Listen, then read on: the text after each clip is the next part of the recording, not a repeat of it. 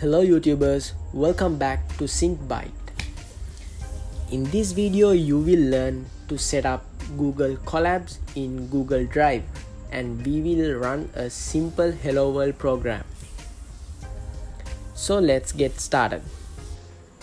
Now go to Google Drive and right click, click more and click connect more apps and then search for Colaboratory.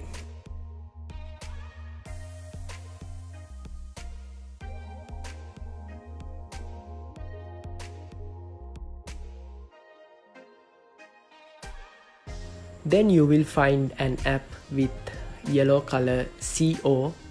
Click it and click install. Then click continue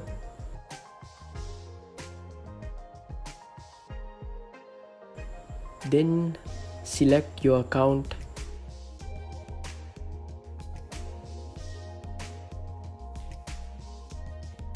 Yes now you have installed Colaboratory in Google Drive.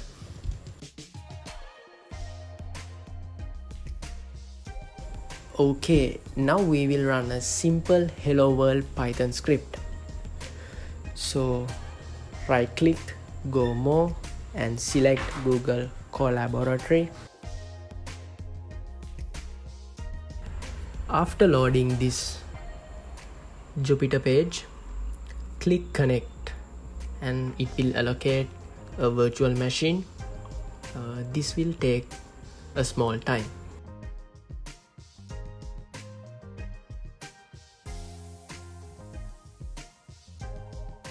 Yes, now it is initializing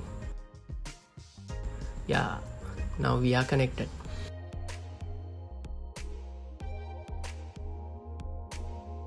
Now type print hello world as shown in the video.